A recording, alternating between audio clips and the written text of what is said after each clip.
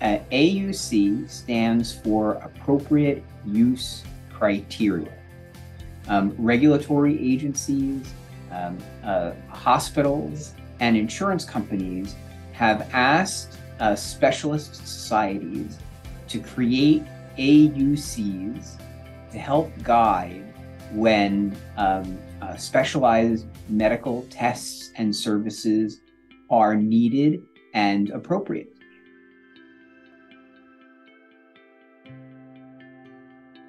The new generation of uh, PET scans that use a different isotope than the regular PET scan that we are used to. Uh, the regular PET scan we use FDG, which is a radioisotope that uses glucose uh, as its uh, backbone molecule Whereas here we're using something uh, that uh, binds to the estrogen receptor, which is a radioisotope of estradiol. So it can detect uh, estrogen receptor positive uh, cancers uh, of interest are lobular cancers because, as we know, 95% of them are driven by the estrogen receptor.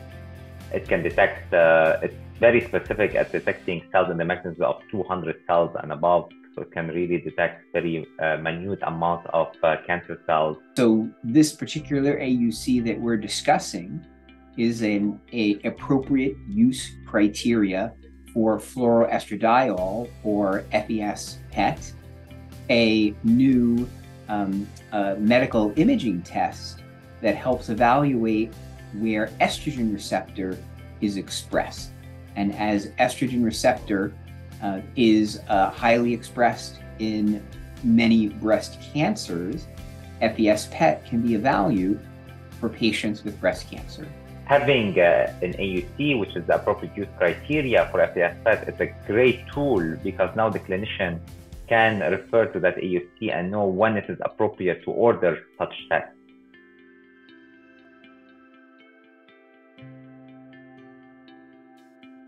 For patients with lobular breast cancer, um, it is a, a, a, there's some good and some bad. The bad is due to the way that lobular breast cancers grow, they become very difficult to detect on many types of medical imaging, such as mammography, ultrasound, and MR, as well as some nuclear medicine tests, such as FDG PET.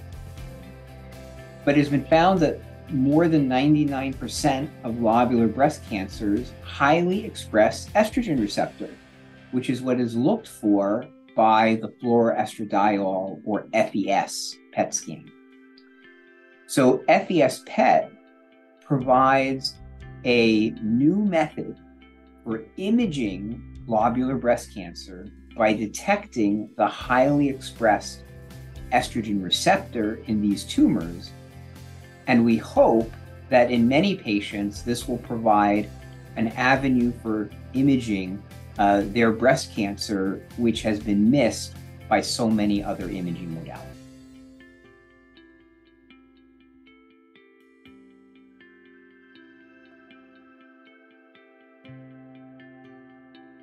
Will be published and available online for all clinicians uh, as a reference guide uh, it's been uh, written in, uh, in a language that's easily understandable and it's been graded so they can uh, be used uh, to, to order that specific test. Also, it can be used by insurance companies to help guide them which patient they can cover it for and which they will not cover it for depending on the indication. So I would say the AUC is important for both the clinician, so they can have it as a reference guide to know when it's appropriate to order it. Also, it's going to be used heavily by insurance companies to uh, determine coverage uh, for that specific uh, test. Again, it's going to be available online. It's currently available. However, once published, it's going to be widely more available. But it's a tool available for free online uh, for the use for clinicians and also patients can also find it online and go over it as well.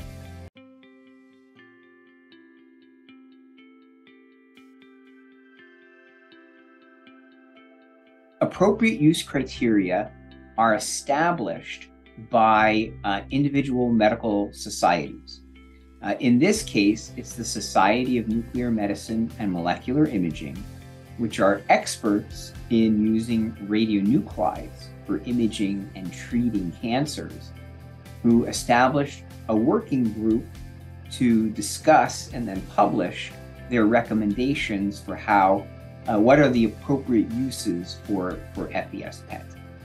There are different types of uh, organizations like the National um, uh, Comprehensive Cancer Network or the NCCN.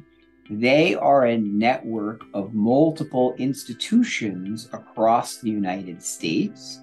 Uh, and they put out guidelines on how they believe cancers should best be treated, including uh, uh, uh not just the treatment, but also uh, prevention, uh, imaging, um, surgery, chemotherapy, radiation therapy. Each individual guideline is, of course, separate, but many of them are interrelated.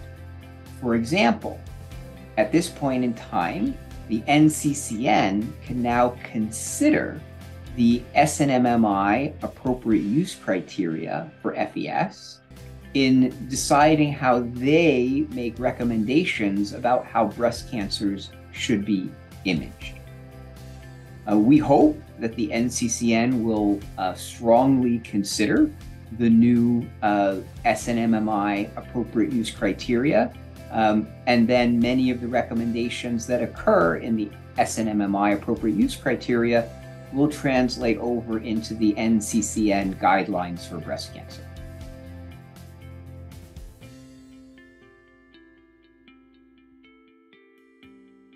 clinician uh, often has the difficult job of determining by themselves when to utilize the different medical tests, uh, medical imaging, and medical treatments that are available uh, for their patients. Uh, an appropriate use criteria that's published from a society such as this uh, uh, AUC for fluoroestradiol, PET, um, can help guide clinicians as to when other experts have suggested uh, the imaging test should be utilized. For example, we use FDG PET, which is, I think, what most people would call the, the standard PET these days, to help determine how advanced an initial tumor is and help determine if patients are responding uh, to treatment those may not be necessarily be the optimal uses of FES PET. FES PET, for example, the AUC suggests utilizing it to help oncologists determine which patients are best suited for endocrine uh, therapies.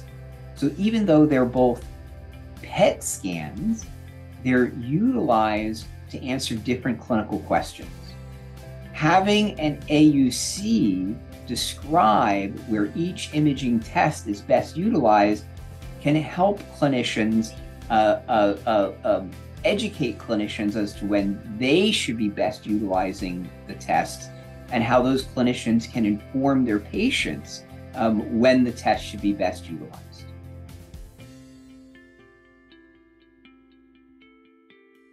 Anyone can make recommendations to the NCCN for certain data or publications to be considered for NCCN guidelines. I think the more people that uh, suggest to the NCCN uh, that the FES AUCs should be considered for the NCCN guidelines, uh, the more likely it is that the NCCN uh, will review uh, those criteria uh, favorably.